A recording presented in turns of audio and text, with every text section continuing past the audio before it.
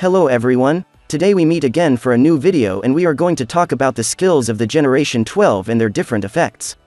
In this video we will see the real effects of their skills and not their description in-game. As a reminder, the descriptions you see in the hero profiles are only descriptions that we can judge to be simplified. Let's start with Lori. As a reminder, Generation 12 hero stats will have up to 1720% attack and troop defense as a bonus. I also add the bonuses from their profession for you to see. Now let's talk about his first skills. It is called Trial by Fire and it has two effects. The first effect is deals 20% additional damage to enemy infantry for 2 rounds. The second effect is reduce damage taken from enemy hunters by 15% for 2 rounds. And all this every 5 rounds. The second skill is called Housekeeping and it has a single effect. Your infantry deals 100% extra damage to the target and this happens every 4 rounds.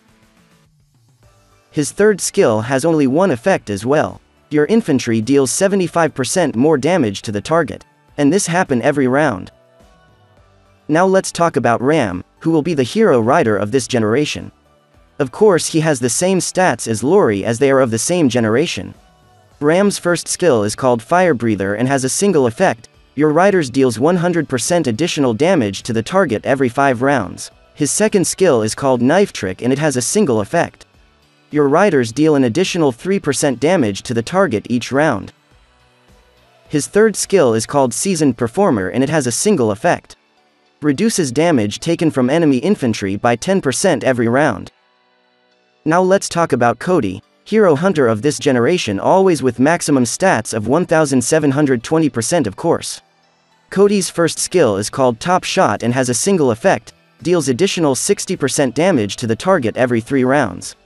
The second skill is called Charged Bullets and has a single effect, your hunters deals 10% additional damage to the target for 3 round and this every 6 rounds. And finally, his third skill is called Dangerous Sweetness and has a single effect. Reduces the damage taken by your infantry by 7.5% each round. I was asked in private messages what it meant for 2 rounds. To simplify, this is the duration of the action of the skill. In this case, we can see that the skill will activate every round and that its effect will last two rounds so in the first round the skill will have effect once. In turn 2 the skill will take effect twice because the previous effect will still be active. With the small pictures I hope you will have better understood this operation.